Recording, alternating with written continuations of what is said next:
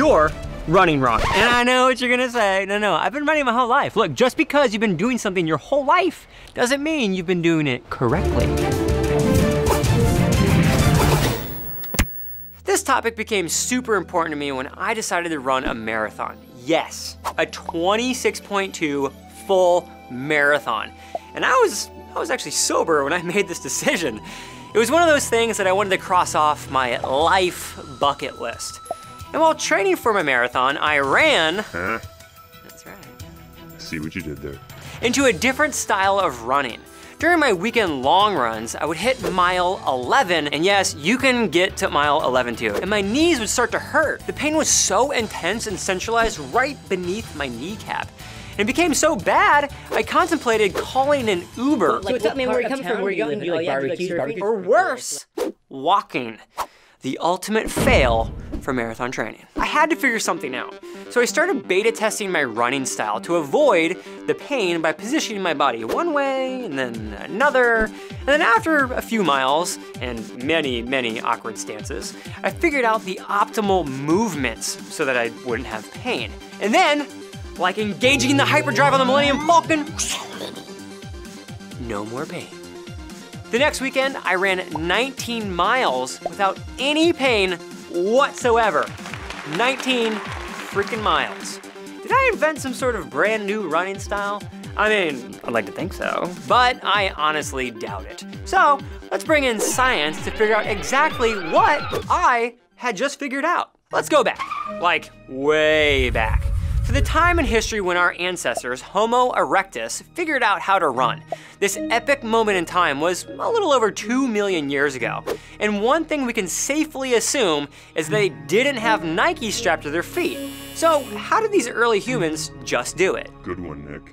Since the running shoe industry wouldn't be invented for another 1,960,000 years, the earliest humans ran barefoot, which is a very different running style than what we are used to today.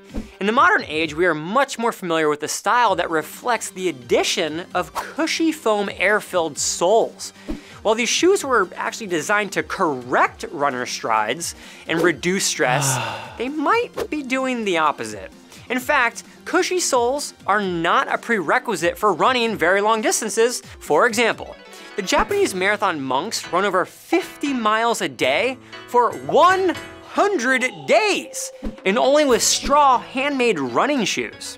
And the Tarahumara people of northwest Mexico have a tradition of running 200 miles in just under two days using minimalistic footwear that looks a lot like flip-flops.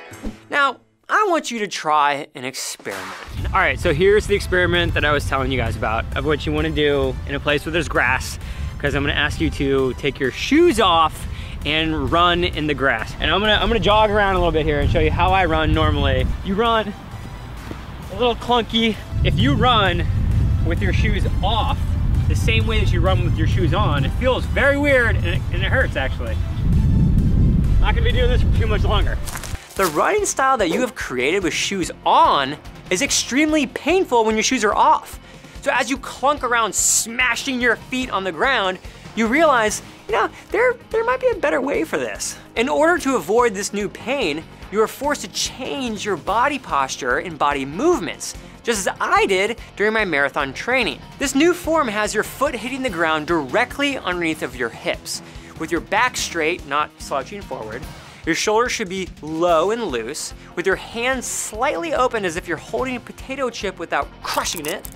You'll be looking forward with your eyes scanning the horizon with a straight neck and a level chin. And for the record, because this comes up in so many running forums, it actually doesn't matter what part of your foot hits first.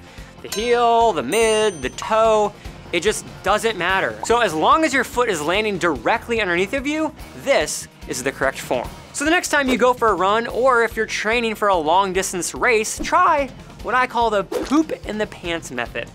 It's not only the form of our early running ancestors, but also the form that will save your body from injury in the long run. Good one, bro. Thanks for watching, and did you try this ancient running method out at home?